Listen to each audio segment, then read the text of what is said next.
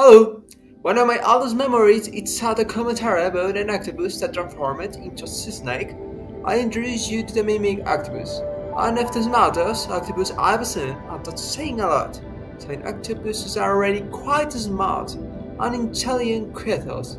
But what's so different about this friend from the other octopidae? This specimen is relatively new, discovered in Sulawesi, Indonesia in 1998 the mimic octopus can be found in the coast of the island from South Asia and Oceania, especially derived modes and estuary from the place different to their octopus the reefs. This mate used his wild jets to move around the place, and when the operator, it used technomatic force to disguise, but it doesn't only disguise as a rock or coral just like the other octopus. No, it does sometimes more than that. Just like his cousin the Wonderpus, he uses his body of 6 centimeters of length to play the role of a snake, a lionfish, a flatfish, and other venomous animals that would scatter enemy. And as a smart octopus it is, it can also act as a flatfish or even a crab, just like his priest. Everything depends on what it needs.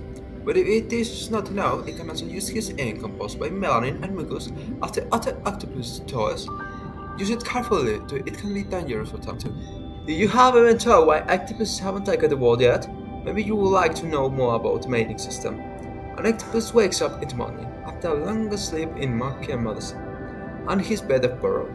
He goes to stack some animals up fresh for food when it finds a female and decides to procreate. The male uses his hectocotylus to inject a spermatophore into the female. Note the female is pregnant the male has been strangled by 2.4 kilograms of female octopus compared to the weight of the male octopus. After tears, the female likes the eggs that are going to take around 10 months to be gestated, but she won't be in a goal to see this. Well, she's going to commit cellular suicide. Yeah, it's creepy, but at least they don't eat each other like mounted those. Today, mate.